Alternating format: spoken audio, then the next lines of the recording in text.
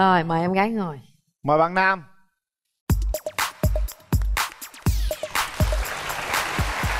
rồi ngồi đi bạn bây giờ giới thiệu về mình đi mời em gái À, em xin chào chị Tường xinh đẹp.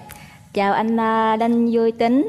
À, chào anh Nam bên à, Dạo Mồng Tơi. Chào toàn thể quý vị khán giả. Em à, tên là Bùi Thị Phượng. Ở nhà thì à, má em hay gọi em là mít ướt bởi vì em rất là nhõng nhẽo và dễ khóc ạ. Nghề nghiệp của em là nhân viên văn phòng. Hiện tại em à, sinh sống và làm việc à, tại Biên Hòa Đồng Nai ạ. Dạ em chào anh uh, MC Quỳnh Linh, chào chị Cát Tường mà chào em chào khán giả. À, chào bạn gái ngồi bên hàng rào bên kia, em tên Trần Bảo Quốc, năm nay em 31 tuổi. Em sinh sống ở Long Thành Đồng Nai. Đồng Nai luôn. Dạ, em làm nhân viên chất lượng ạ. Anh à, ở Long Thành ạ? Đúng rồi. Anh làm vậy là công ty đó là ở à, khu công nghiệp à, Long Thành luôn đúng không anh? Đúng rồi em. cũng gần nhau mà đúng không? Dạ cũng gần. hai bạn giới thiệu điểm mạnh điểm yếu của mình cho đối phương nghe đi. Ờ, em nấu ăn không có được ngon. Mặc dù em rất là thích nấu nhưng đôi lúc em ờ, bày vẽ ra em nấu nhưng mà ờ, thành công thì ít mà thất bại thì nhiều. Không sao. Em cũng hậu đậu nữa. Ở ờ, nhà hay là ở nơi làm việc mà có cái gì đó nó hư hỏng hay đổ vỡ thì thủ phạm đầu tiên là mọi người nghĩ đến là em.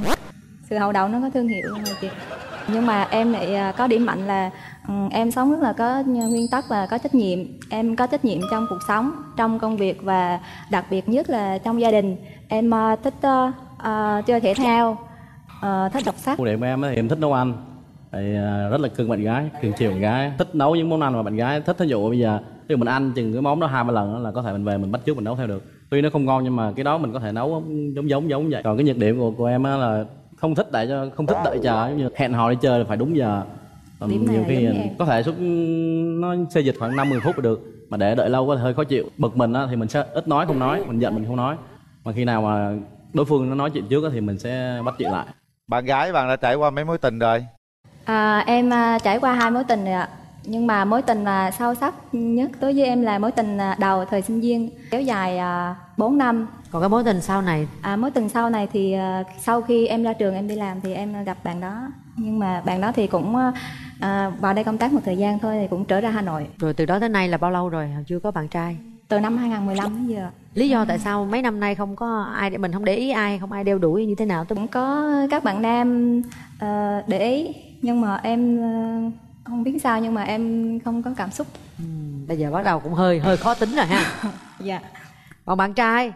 Em thì em trải qua ba mối tình rồi. Mối tình đầu tiên của em là cách đây khoảng ờ, 10 năm. Mối tình đầu quen được uh, 4 năm. Mối tình thứ hai thì cũng khoảng uh, 3 năm. Rồi 7 năm rồi.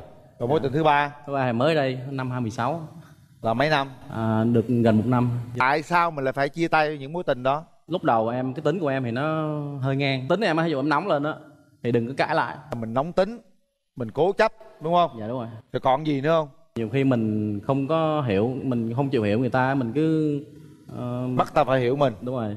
Những cái đó coi như mình bỏ qua nha. Bớt nóng tính nè ha. Rồi mình phải hiểu người ta người ta mới hiểu mình. Hai cái đó rất là quan trọng cho tình yêu. Mình muốn tìm một bạn gái như thế nào? Bạn gái thì ờ, cao khoảng một mét ờ, 56 đến 56 giờ lên. Tại vì tính của em nó mạnh mẽ em mới muốn một cái người đó ví dụ em la thì khóc khóc là tự nhiên em sẽ xìu xuống à nước mắt là vũ khí đó. mình bực lên đó là người ta thấy mình mình thấy người ta khóc là mình tự động mình mình bình tĩnh lại. Rồi lần đầu mình sợ nhất là cái tóm lại là cứ la là khóc. Khóc là em hết la. Dạ đúng rồi. Vậy đúng Là- không? Tức là sợ giọt nước mắt đúng không? Dạ đúng rồi. Rồi thôi được đến xem cô, kia có thích khóc không nha. Chào em Em chào gái anh ạ. em có hay khóc không Dạ em thì ờ, chúa dễ khóc luôn ạ. vậy được rồi đó. Em muốn kiếm một mẫu người bạn trai như thế nào? Em nói với linh luôn đi. Ừ, về ngoại hình thì em không có quan trọng lắm. Nhưng mà nếu mà cao hơn em thì càng tốt. Ừ, em cũng hy vọng ờ, bạn nam của em là một người ờ, ờ, chín chắn sống ờ, có trách nhiệm và biết ờ, ừ, nghĩ đến gia đình. Có cái điều gì em không thích ở người bạn trai không? Quá gia trưởng và vô tâm. Nhưng anh này đôi khi anh áp đặt á tức là anh nói phải nghe đó là hơi gia trưởng đó. Về cái điểm này thì ờ, em cũng có một chút chút nhưng mà em nghĩ là nếu như mà như vậy thì cả hai người phải ờ, cố gắng để mà dung hòa Đúng trong rồi. cái trường hợp này. Chỉ còn một điểm đó thôi bạn trai cố gắng kìm là được rồi nha. Anh thấy đàn gái cũng rất là xinh xắn dễ thương. Nếu mà được thì khi nào em tính là tiến tới hôn nhân được? Em thì thời gian không quan trọng quan trọng là mình tìm hiểu đủ thì là được. Rồi bạn trai còn có tật xấu gì nữa không? Trời ơi chào em. Dạ chị không không nhậu rồi không nhậu. Dạ, Cái gì? uống không biết nhậu. À, dạ không nhậu. Nhậu uống mà một hai ly là người nó đỏ mặt nó đỏ lên là đó tốt chứ coi đâu xấu em. Trong cuộc sống em có sợ cái gì không? Em sợ ma lắm thấy ma lần nào chưa? Hồi xưa thì ờ, ở gần xóm có cái giống như cái sân banh vậy á. Em ra ngoài em chơi. Chơi lúc mà về trời mưa nó nó hơi lâm râm á. Em em vừa đi ngang em thấy em em thấy một bóng đen em sợ. Em chạy hết đà em chạy em chạy về nhà. Sang ngày hôm sau ra em thấy là cái cục xi măng.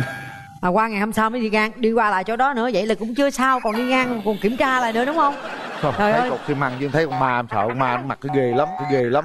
Dài rồi lắng cón đồng hồ rồi răng cỏ rồi lấp lánh đồ nữa ha. Để, để đính mấy hộp. Một hộp. Một hộp à hả? Xong làm điều cho hai bên luôn cho nó đẹp. Giờ lấy vợ về mình à, tính lập nghiệp ở đâu? Nhà em có một mình còn một mình em à em sống ba mẹ. Thì như là làm đó- dâu đúng không? Dạ. Rồi làm dâu được không em?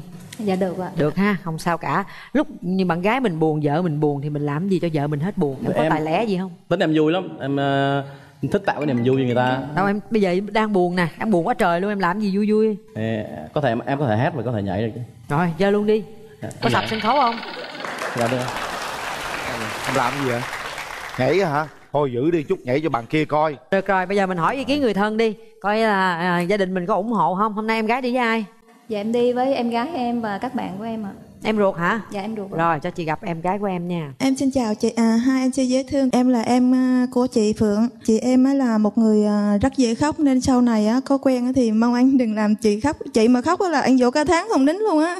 Anh trai bên này á thì em thấy anh cũng được, cũng vui tính và cũng có vẻ hợp với chị em nên em cũng mong là anh chị bấm nút cho nhau một cơ hội và tiến đến xa hơn nữa. Cảm ơn em còn em trai này mình đi với ai dạ em đi với anh em anh ờ, bà con rồi chào anh Em chào anh Em cũng xin ờ, kính chào hai MC dễ thương. Rồi em cũng xin ờ, kính chào toàn thể ờ, quý khán giả có mặt trường quay hôm nay. Em là anh họ của em trai bên đây. Em gái bên đây rất là dễ thương, có chất giọng rất là nhẹ nhàng và điềm tĩnh, khéo léo nữa. Thì anh mong hai em cho nhau một cơ hội để tìm hiểu. Cảm ơn anh rồi cảm ơn anh nha khi mở cái hàng rào ra là em nhảy liền nha để lấy cảm tình bạn gái đúng không đây là thế mạnh của mình mà khoe liền đúng không rồi mở rào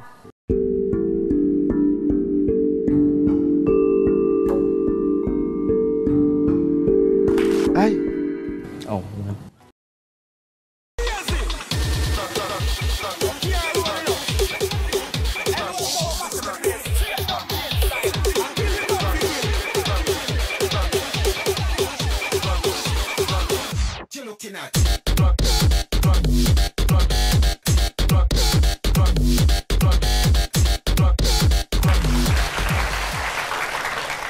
kính chào tặng anh. Thì em hy vọng là trong những lúc anh cảm thấy hoang mang mệt mỏi khi mà anh đọc những cái dòng cảm xúc này anh sẽ cảm thấy tìm lại được cái những cái giây phút an yên và ờ, ngọt ngào trong lòng mình. Dạ, cảm ơn.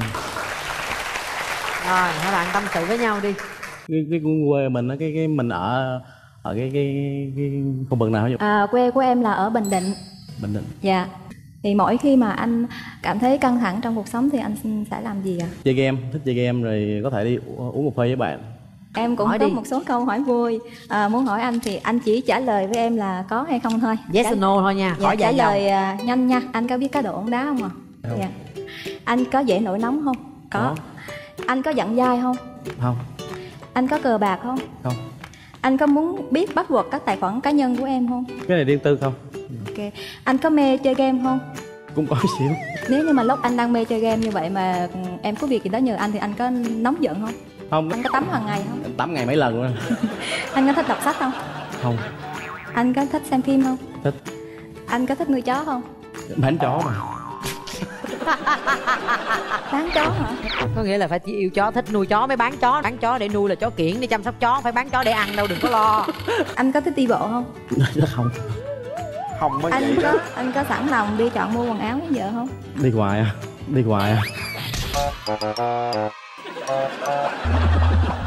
Vợ ở đâu đi Phải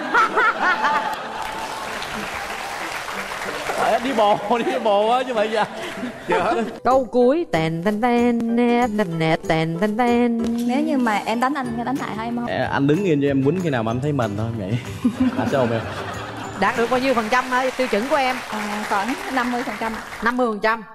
Có thưởng có phạt gì không? Hỏi người ta quá trời vậy. 50 phần trăm là không thưởng không phạt gì Không thưởng, không 60 phần phạt. trăm là thưởng mà 40 phần trăm thì em phạt. thấy sai có hai ba câu thôi chứ mấy. Ở đây không có sai gì Dạ. chân á chỉ có một câu là đi với vợ hoài thôi. Một Rồi. câu tỏ tình. Ngọt ngào chút xíu đi rồi quyết định bấm nút nè. Anh cũng mong ờ, hai hai người có một cái gì đó để cho nhau một cái cơ hội để tìm hiểu nhau để tiến xa hơn.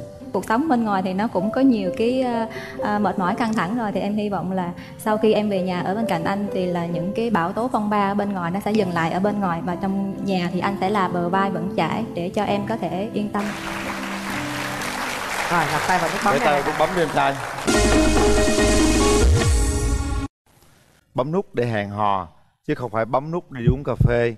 Bấm nút để ta tiến xa hơn chứ không phải bấm nút để vì một điều gì đó nha. Một. Hai. Ba. Hết thời gian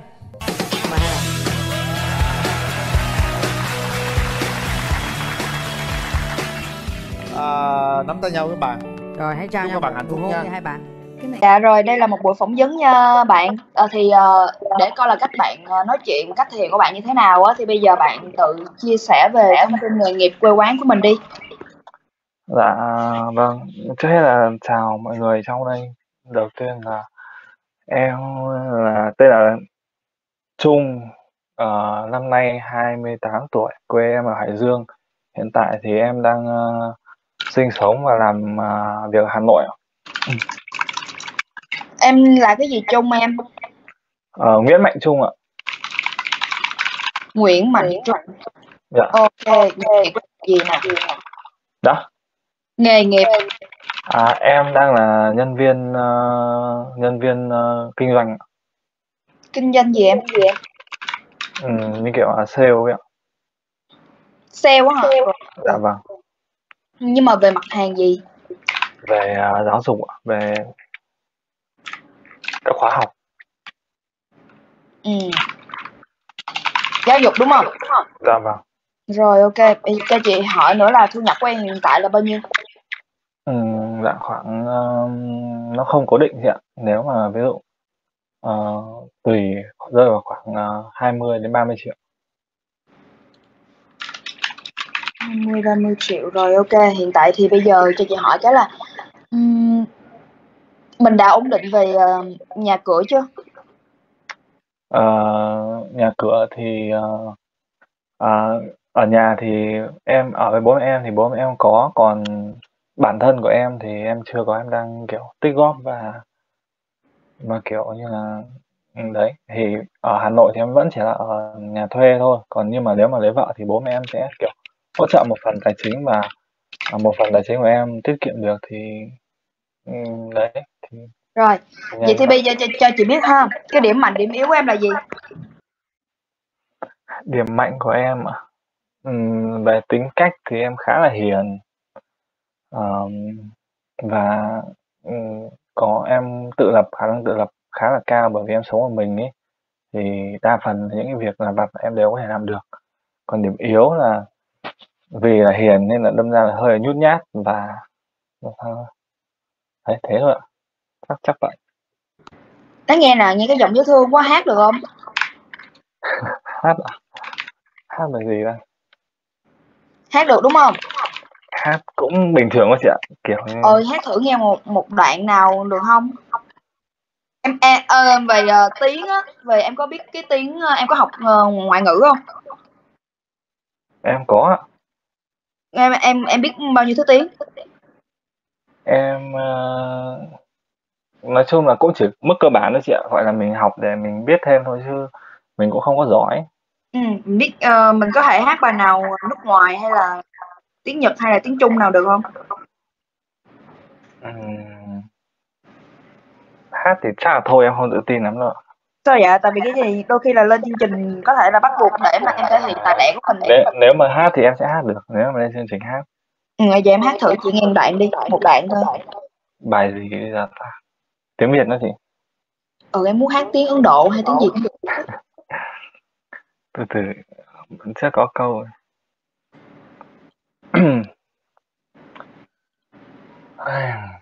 tự nhiên hát giờ thì bảo hát là mà run. Bài gì ta Có thất tình không? không thất tình Vậy vậy hát bài vui đi. hát bài vui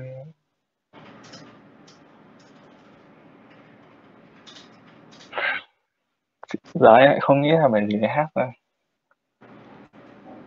con cò bé bé bé bé cho bạn hát Ừm.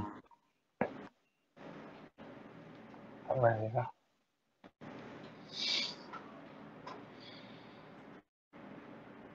ngày không em, con vắng không vang tiếng đàn. Ngày không em, sắc thắm hoa phai nhạt màu nhớ em.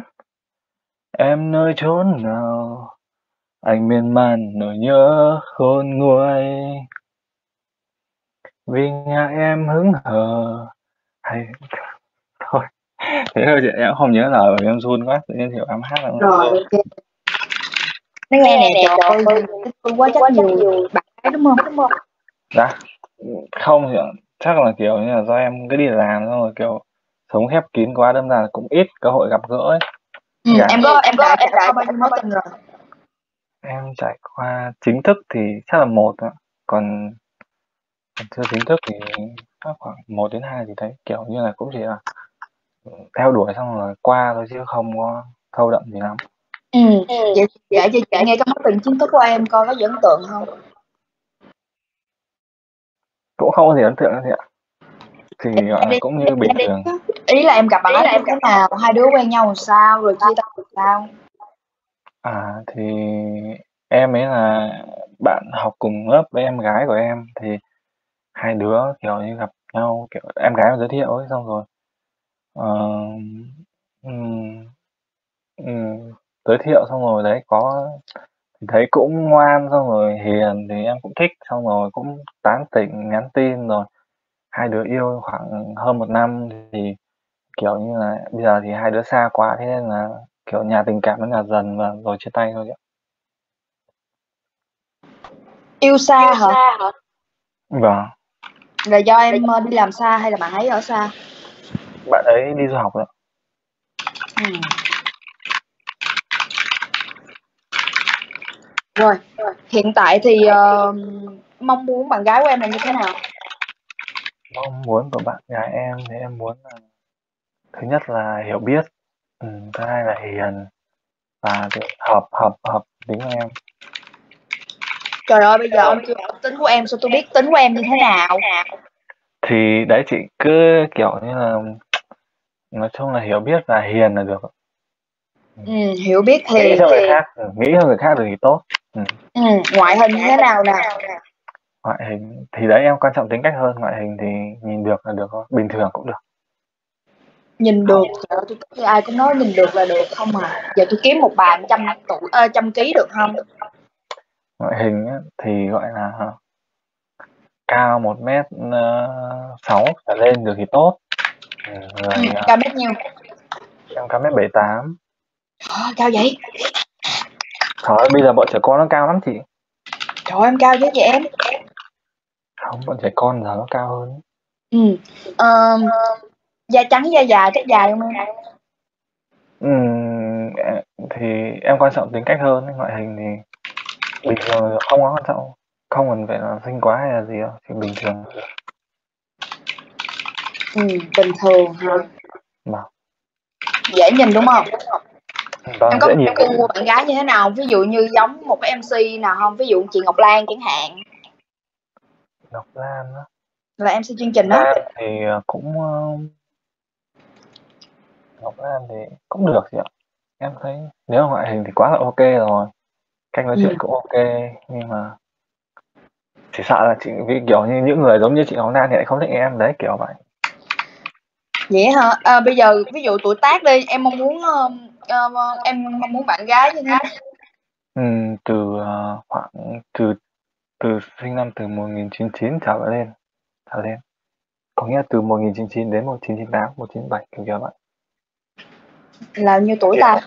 Là 20 cho tới nhiêu tuổi? Từ 23 trở lên. 23 trở lên là được hả? Vào 23 23 tới um, 35 tuổi được không không chị ơi phải ít hơn à, kiểu như tầm hơn em một tuổi thôi không được nhiều quá. Hơn ờ, khoảng 31 tuổi được không? 31 tuổi hả? không chị ạ không. Lỡ 31 Kiểu- 31 trẻ rồi sao? Trẻ.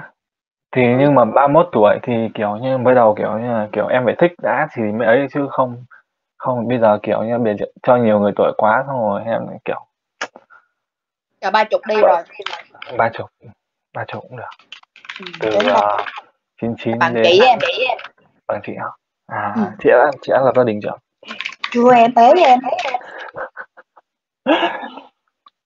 thế thì Ủa nhưng mà chị kiểu như làm ờ, cái này thì kiểu như cũng gặp được nhiều người mà đấy ví dụ như kiểu như, Nó em. Như bây giờ kiểu như chị cứ gặp người à kiểu ok xong rồi chị thích thích xong rồi chị kiểu ấy luôn đỡ phải cho anh chương trình luôn thế Nhưng mà bây giờ cái mong muốn bạn gái của em là quê quán ở đâu nè? ở ngoài Bắc ạ, nếu mà ngoài Bắc được thì tốt còn không thì ở đâu cũng được bởi vì là Sài Gòn được không em? Sài Gòn thì lại ừ, tốt quá bởi vì em rất thích con gái miền Nam giọng rất là dễ thương Trời ơi chị đó. Rồi um, giờ thưa uh, nghề nghiệp của bạn gái của em là gì? Ừm, bạn gái à đấy đúng rồi bạn gái tự lập được thì tốt Ừm, bởi vì kiểu như là em thì cũng không phải là quá giỏi giang để có thể kiểu như là lo cho bạn gái được thì kiểu cả hai cùng phải cố gắng ấy thì đấy Ừ. À, thu nhập ờ, em mong muốn bạn gái nhiêu nè? Ừm, chắc là chỉ khoảng 10 triệu ok đó Trời ơi, 10 triệu. Rồi, giờ cái này đặc biệt đấy nha. Về hôn nhân, bạn ấy đã từng kết hôn và có con được không? Chắc không, hơi đẹp trai quá để ờ, độc thân đi. Rồi, Ừm, thực ra thì như thế thì kiểu như là khó em ấy bởi vì em chưa từng kết hôn em sợ là kiểu không được bao dung cho người ta rồi ok ok được rồi. Ờm, em còn mong muốn gì ở bạn gái nữa không nè? em còn mong muốn gì không không Ừ, ok. riêng Ừ. số là biết Nãy giờ là ờ, ok rồi đó chị ờ, sẽ kiếm được bạn gái cho em còn nếu không được thì kiếm chị cũng được Ờ, cái gì ờ, cái này chỉ là bộ phỏng vấn thôi cái gì